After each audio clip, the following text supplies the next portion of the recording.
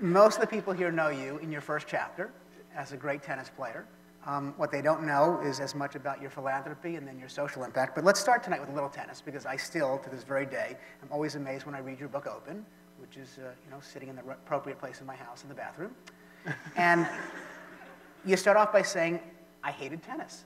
And how is it possible that someone who hated something so vehemently could be so wildly successful? Yeah, uh, well, that's a loaded question, so we'll save some time for uh, you know, the focus of what we're sort of here about today, uh, and I'll try to kind of give you a quick overview, but I, I, would imagine all you can identify with this in the sense that maybe some of you are, um, are self-motivated and you're here, obviously all of you are here because you've overachieved. Uh, some of you maybe because you're self-motivated, others maybe because this was your parents' dream or, or aspirations for you, so you're sort of you know, doing what you need to and living with that, with that pressure. Uh, well, that, that was kind of me, the latter. And my father was very intense on me being the best player in the world. That's all I knew. And, and tennis was the big reason for the disconnect in my entire childhood. Relationship with my siblings, relationship with my father, get sent away to an academy just to focus on tennis. You know, that also left me a bit disconnected. But fear is, you know, a great motivator. And, and I think one of the things that I've learned that might apply to, to you guys, there's much to talk about on the subject, but is you, you all have this um, incredible ability to overachieve given the fact that you're even here in the first place. And then you get here, and I'm sure you're overwhelmed with your circumstances, and you sort of look around and say, oh, geez, I, you know, I gotta, I gotta deliver, I gotta get through this. And then you sort of say, when you leave here, wow, I gotta do, you know, Wharton proud, and I gotta now succeed. And, and you, you have these ideas of where you wanna land when you come here, where you wanna land when you, when you leave here, but what I'll say to you uh, that I learned all too late in my life that has to do with what you're asking, Bobby, which is, you know, it doesn't matter uh, really what you're charged with doing. You've already proven, uh, you know, who you are and what your makeup is to even be here. To take stock and, and safety in the fact that you're really good and the stress and the perfectionism that you sort of instill in yourself is the very thing uh, that will get you through uh, not just the things that got you here, but will get you through being here. Will also get you through uh, when you when you when you leave here. Uh, and in between that reality is what you sort of call life. And I think one of the mistakes that people make uh, is that they really think they have to leave this environment and land in a specific place. It's why I love this series that you've, you know, put together and sponsored for so many years because this series is a moment in your life to maybe reconsider what you're going to do. And I, swear to you, that's the way life works. You prepare for something, and then you're a little bit open minded at different intersections. You run into somebody by accident, and the next thing you know, the entire trajectory of your life changes. Uh, we have one of our greatest uh, uh, partners in this, uh, came straight from here four years ago. Actually came down this aisle and refused to leave until she, she had a chance to chat with us, and now she's doing something she never dreamed in her life she'd be doing. So I'm not, I'm not pitching you on you need to be doing what we're doing. I'm just simply saying give yourself the freedom in your own mind to think about life and the definitions of success as, as you define it. And that's what I didn't have with my tennis. I, I didn't define myself by what I did, and therefore I was really disconnected with it. And it doesn't matter how much success you have from a worldly uh, outlook, because uh, people really define success different ways uh, you, you are truly going to be unhappy inside uh, and not comfortable in your own skin if you don't have your reasons for waking up every day and doing what it is you want to do. Because between now and whatever we define success at, uh, life, life really does happen. Uh, you've experienced it to some degree, trust me. Uh, we've experienced it uh, to the degree of 20 plus more years. so that, that truth will never, never change. So, obviously, a great success on the tennis court. Um, you became a great success off the tennis court as a philanthropist, one of the great philanthropists, and you're a bit of an outlier. And, I, and I'd love, and I've never asked you this question, um, why, what makes you different, and why have so few professional athletes uh, been able to embrace a second career and have the impact off a court like you've been able to have on a court? What's, what's, what's preventing others to follow in your footsteps? Uh, yeah, that's, uh, let, let me first start by saying I don't separate athletes from the world. You know, I always often look around and wonder why others don't uh, do more uh, if they can. And, and some people have a bigger net to cast, no, no question about it.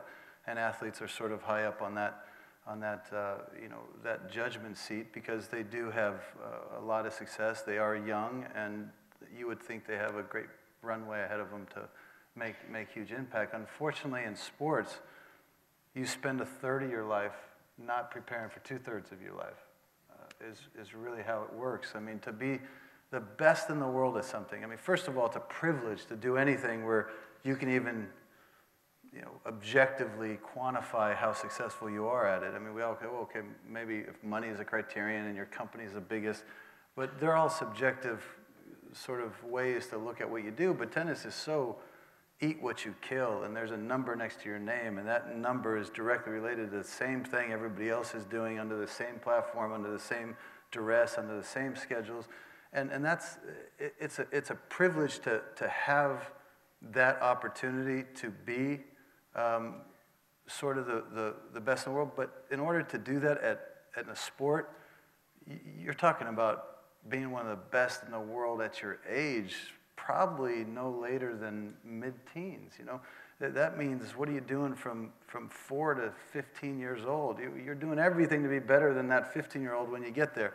You're, you're doing, and your life is about one thing. It's about one thing. It's about one thing. And then that only increases. It only grows. It only gets more intense. And then all of a sudden it's over, right? It's just like, wait a second. I don't know what it's like not to have huge inventory of resources and, and, and money and, and, and people wanting me and my time and my phone's ringing to the next day it's over. And uh, the only thing I can really compare it to, uh, quite honestly, is, is, is, is death, because death is one of those things that you're going to have to face. You don't know what's on the other side, and you really don't know how prepared you are for it. And unfortunately, in sports, that's the case. I, I, the, the, the luxury that I had in being so disconnected with what I did on the court is I found my reason for doing what I did on the court. And that reason was a real bridge in my life to my own ownership of my life. Just because I didn't choose my life didn't mean I couldn't take ownership of it. Taking ownership means finding your reasons. I found my reason during the thick of my career, and I used that as a vehicle for not just my own inspirations to achieve on the court, but I used it as, as, a, as a life vest of sorts when I went through my, my death on, on the tennis court, which is retirement. And when I was done, I, it sort of occurred to me that the greatest thing I enjoyed on the tennis court was impacting somebody for two hours. You know, in my wife's case, 35 minutes. You know, some cases, so, some, some cases a, a, little bit longer, but then that came at the compromise of my own personal enjoyment. You know, but, but you, you really, you really, thank you. uh, you, you really do, you really do find yourself going, this is kind of cool that somebody will always remember where they were when they saw this. If, if you can leave your signature on that court with pride, and that's what we all try to do every day, and hopefully you're doing that every day with all your responsibilities. And I'd leave the court and say, that was pretty cool to have that impact. But what real impact is it through the vehicle of my foundation, through the vehicle of changing generations, through the opportunity of these daunting things that Bobby's talking about in, in, the, in the greater context of of our world's problems, you know, you have this great opportunity to now shift. And, and I looked at it like a bigger canvas to impact not just a memory, not just a few hours, but to impact generations. Right. So rather than choosing to be a coach, rather than choosing to go into broadcasting, you chose philanthropy.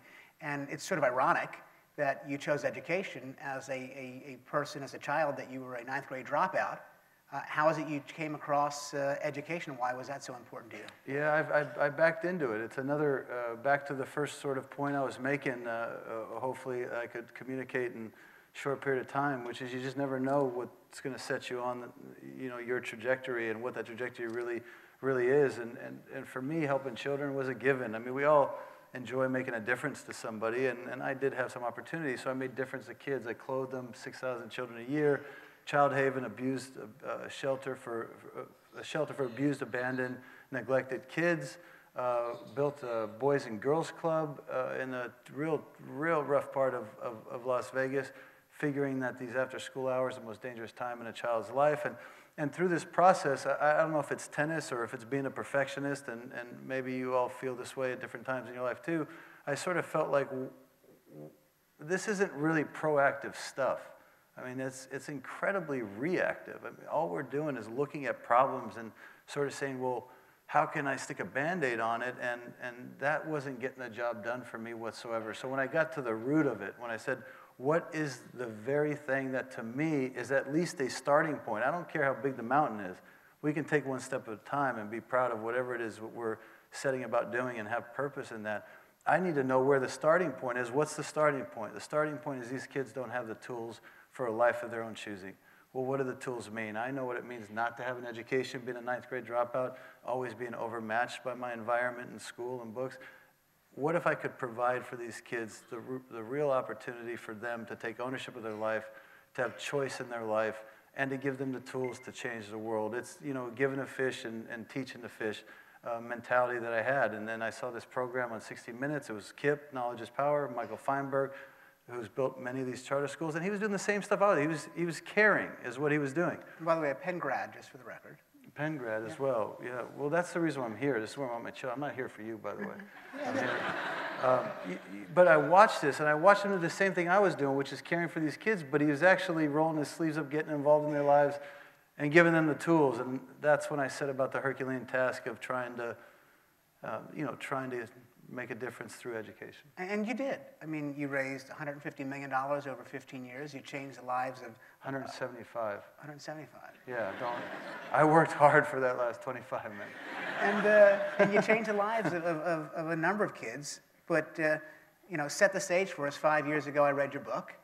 Uh, and I recognize that you and I shared the same passion and frustration. And I, I like to call it a warm call. Uh, you say it's a cold call, but I did call you and say I wanted to meet girl with you. in that in that in that, her dorm, yeah, that was that was also a cold entry. That wasn't was, a warm entry. That was a cold entry. But it's amazing how when you follow, things get warm, and people light up, and people want your autograph, and you know, years and years of taking pictures of you. I have carpal, you know, whatever the syndrome is on my finger. It's it's it's it's, it's painful. But so help me set the stage of of what your thought was after we sat down that first time. Again, this all ties in to stuff hopefully you're taking away on, on a number of levels because I, I, who, who knew that I would be here doing this, right? And I don't mean here tonight, I mean in the space of really uh, taking a bite out of the national um, issue of, of, of education. But, but I always kept myself open and I always kept myself pursuing how to get better every day. You know, I was number one in the world, I was number 140 in the one in the world, and I got back to number one to only recognize the similarity in all of it, which is doesn't matter. You're 141, you can't get there again. You're too old. You're number one. Who do you look to? The only thing you can control is how you, how you handle yourself every day and how do you get yourself better. So that was my pursuit with education. And when 630 kids went to went to 1,300 kids because I found a way to maximize the facility better. And I did some things, but the waiting list still stayed the same. And, and I just didn't know how to scale it. I tried it through legislation. I tried it through some replication of people were going to build it in their community and I could share best practices. It, it, was, it just wasn't scalable, certainly wasn't sustainable until I met you. As you well know, the, the trajectory of my life changed at that point because it gave me an incredible vehicle to now go out and pursue um, a very what, what, at the time, and I don't think it's that much anymore. At the time, it was it was risky to do what we did. I mean, you spend your life as a philanthropist, and now all of a sudden, you're claiming that going into the for-profit traditional capital space is is almost inherently in conflict. If anything, you could you know, people would even go further and say, well, if you are now taking your philanthropy and you're transitioning into monetizing it, you know, that sounds a little skeptical, you know, and, and, and I, I knew that. I knew it would be a, a, a journey of, of walking where angels dare to tread. I mean, it, it comes with that. I'm not adverse to risk in my life, as, as some of you may know, um, probably through your parents at this stage, watching me play over the years um, you, will know that, uh, yeah, I wore jean shorts on the tennis court because I didn't, I didn't get why this was such a, high-end deal. I mean, there's a lot of people that should be out here appreciating what the hell I'm putting myself through. And, you know, you take that risk and you realize that, okay, there's some benefit to it, calculated risk. You know, I wrote my book. You read it if you want, you know, the whole deal. But the truth is, I did it differently. And, and, but the upside of doing it, again, is, is the impact. So when I got to the place where I had to really wrestle with that idea, it boiled down to one simple question. You know, and the question was, what's the alternative? Okay, what if I don't take this risk? What if I don't pursue this? That really means that hundreds of thousands of seats aren't going to be provided for those that know how to educate our future. How do I say no to that? And that was what I committed to, separate from what I thought this journey was going to be. I, I, don't, I don't think it's in that space now. People do recognize uh, how you need it to, to really do something sustainable. Uh, but I'm grateful to Bobby. He gives me a lot of credit for not working since we met. You know, I give you a lot of credit for, for literally giving me um, a, a, a, new career, you know. And, and, and the career, when I say career, I don't mean opportunity. I mean, I mean an expression of everything that I've spent my life and time trying to provide and doing it on a, on a doing it on, uh, if we weren't talking about sports, I'd say steroids, but where, you know, I've, you've allowed me to do this in a way that was uh, unthinkable. Uh, and now uh, it's, it's, it's, we get to share it, you know, we get to take people along for the ride. Did, did you ever, in your wildest dreams, think that raising a private equity fund focused on changing systematic policy and education would be this hard? Is it easier to win a Grand Slam? Or is it easier to raise a private equity fund focused on changing the political landscape of education? Um, I always, I always prefer knowing my enemy, you know, and and uh, and I always knew my enemy on a tennis court. You know, I knew he was a faceless person with strengths and weaknesses. Uh, I, we had to spend a lot of time understanding who our enemies were, so to speak, you know, what, what opponent we were really facing and, and what strengths they had and, and what weaknesses they had. And, and that's tougher, you know, to convince somebody when you go to a monster, you know, company and you're talking to their CIO and you're explaining them the merits of the actual investment and they think it's wonderful and they kick you to the program side because it's about social impact. And you go to the program side who's giving away money and they think what you're doing is incredible, except we're charged with giving away our money. You know, we're not really responsible for investing it. We actually give it away. And so, well, wait a second. Can you just give it to me then? And then maybe I'll pass it to Bobby in a few years and he can set another brown paper bag on your doorstep with more money that you can give to somebody else. I mean, it doesn't make any sense. We're not sitting in the room recognizing that if we just put our, our hats together, if we just figured out a way, this is a sustainable, scalable approach towards one of our issues. And there's, and there's many to be dealt with. It was, it was amazing. I remember we spent uh, a year on the road and we came across four kinds of investors. we, we joke. We came across uh, the unionists, we came across the capitalists, we came across the, the, uh, communists. the communists. Remember that. And we came across the realists. And the, the unionists were those teachers' unions for whom I had managed billions of dollars for the years. And I remember Andre and I would go up and we'd sit down in, in front of the California state teachers, the New York state teachers, and we'd say, We have a great investment opportunity for you. It's going to do two times equity multiple, 17% returns. It has to do with the, uh, the, the health of society. It's an environment which is growing at 15% compounded per annum, all the great metrics, compelling reasons. And in every case, they would look at us and say, We're in. We'll take, in one instance, we'll take half the fund. And they then would say, Well, what's the asset class, by the way? And we would say, But are you sure you're in? And they'd say, We're in. Really sure. Really super sure. You swear, pinky swear that you're going to invest in the fund. And they'd say, Pinky swear, what the fuck's the investment? and we would say, Charter schools. And then there'd be this deafening silence. and they'd say, Nice to meet you. And you'd realize, and you'd say, Well, nice to meet you. What's the issue here? And the, and the unions would say, Well, you know, charter schools are the nemesis of the public school district. For every charter school job created, it's the loss of a charter school job. And Andre would say, well, you know, the reality is, is the intent of this fund is not to undermine the unions. In fact, we're incredibly pro-union. It's just the children's union that we're focusing on. And as long as education is going to be about adults, we're going to have problems. It should be about children.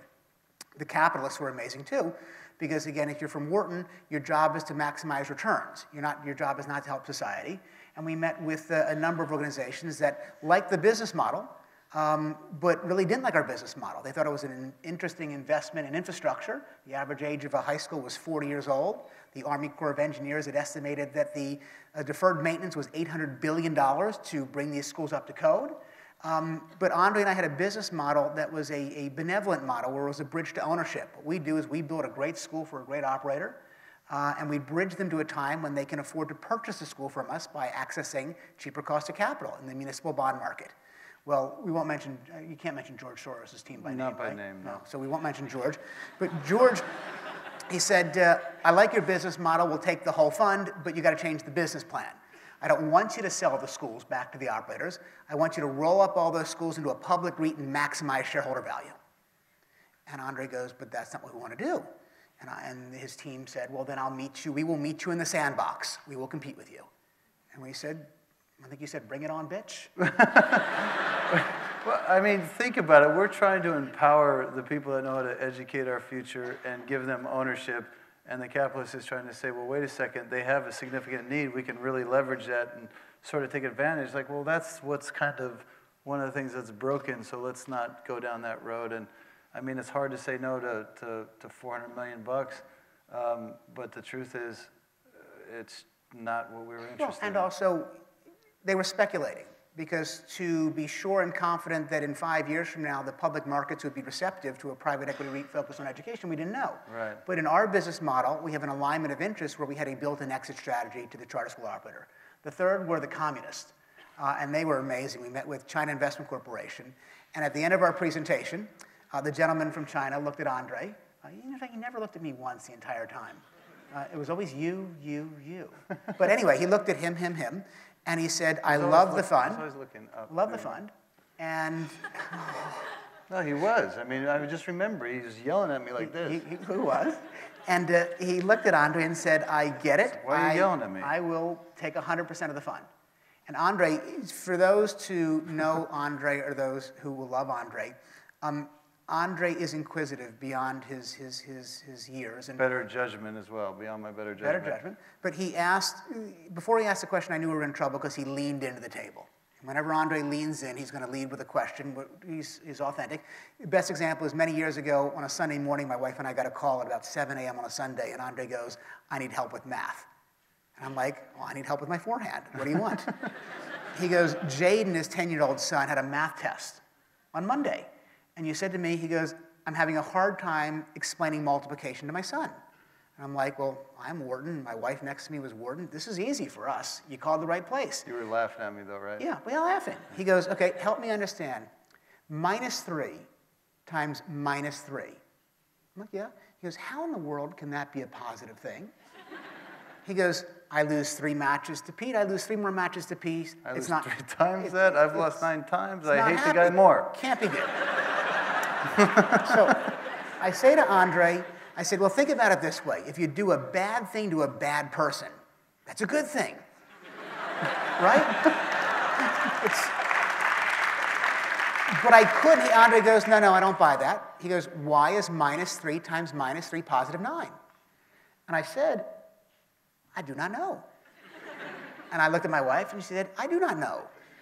And I said to Andre, I said, you know something? It's just one of those things you have to memorize. It's one of those tenets in math, just memorize it. Still unacceptable to he me. He goes, you may choose to live your life that way.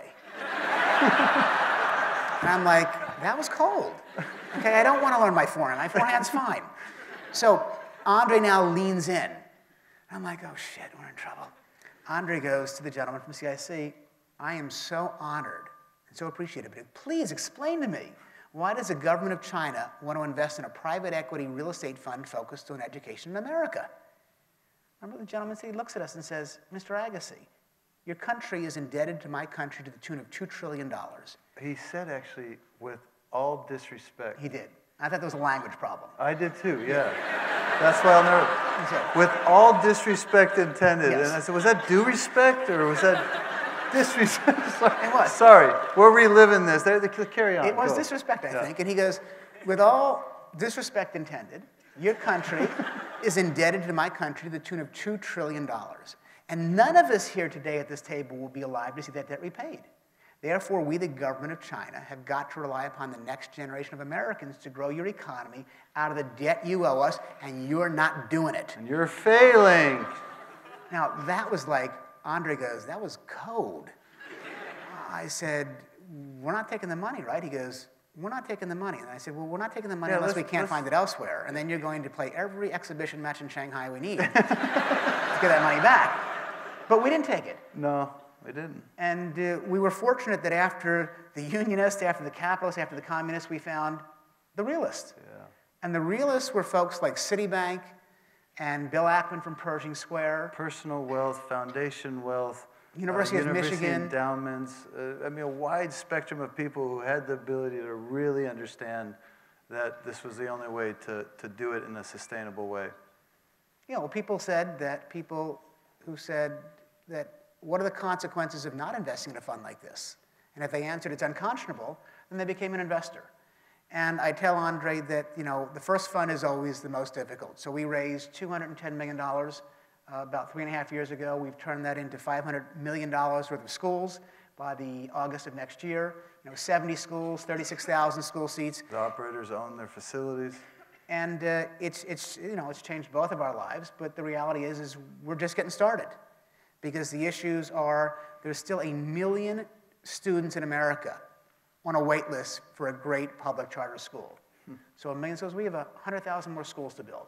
And just to be clear on the charter school front, because being an educational institution here, I mean, it's not that we think charter schools is the end all to education. It's not a- a- at all that way, but, but there, it's competition. And the best in class operators are really outperforming their district peers.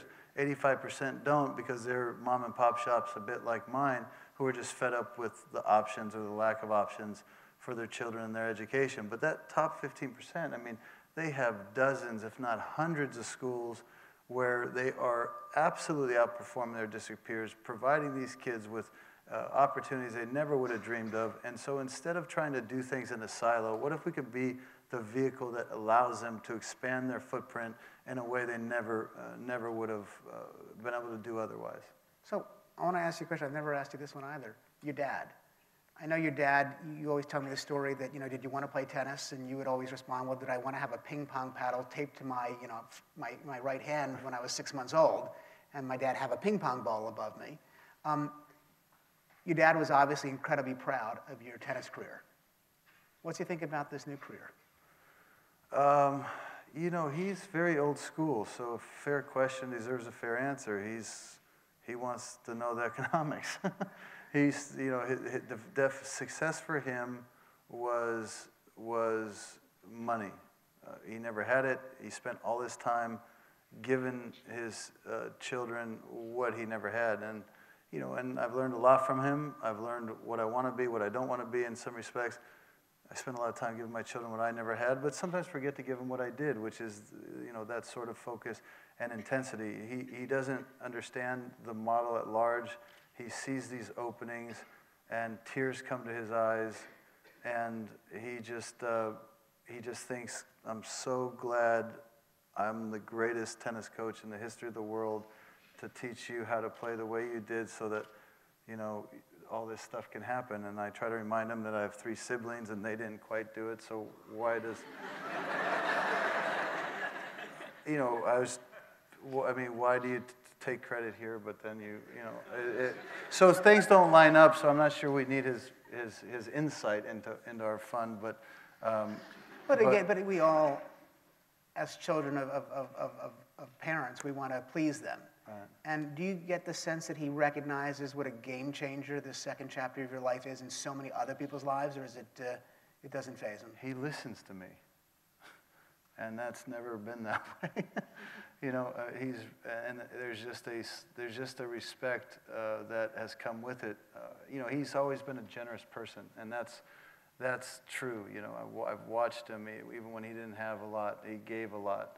Uh, and seeing what we're doing and seeing what I am through his eyes, what I'm able to give to so many, uh, really touches a part of him. Uh, you know, I, I- sometimes you wonder if it's pride or if it's flat out jealousy because he just, he's just, he's engulfed in, uh, in the reality that so much is happening in these people's lives as a result of what we're, what we're given.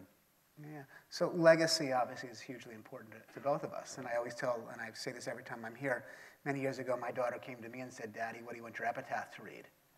And of course, I responded, the same response always is, Daddy went to Wharton, I have no idea what the word epitaph means. um, and she explained to me that it's, what do you want your tombstone to read? And I said, you know, uh, when I graduated Wharton, I wanted my tombstone to read, Daddy, you know, had the most change in his pocket. Um, and as I've gotten older and wiser, it's now, Daddy made the most change in the world. Um, your epitaph, what do you want it to read? Yeah, that's a that's a big question. I mean, for me, uh, I think the only thing that is one of the things that has stayed truly the same throughout my life in tennis and and and now post tennis. Uh, I got asked the same question about legacy in the sport, you know, and it, I I didn't really care about the titles and you know and the numbers, but I did care about the sport being better off as a result of having me. Uh, I felt like that was really important to me, and I didn't want to hurt the game. Uh, I wanted to add to it. I wanted to leave it in a better place uh, for, for being there. And it's just hard not to look at life, uh, to not look at that as a microcosm sort of of life. Uh, I just, I, I want everybody that I'm in contact with to be better off as a result of our time spent together. Uh, And what we're doing is, is, is, is that, you know, intensified, uh, making a difference in this world and, and knowing that if you weren't here, that difference wouldn't have been made is, uh, is a powerful feeling while you're alive. I'm not sure how much I'm gonna care about it when I'm gone. Um, you know, I'll tell you later, I'll see you there. speak on the other side. But until then, um, leaving this place better off is, uh, is pretty inspiring.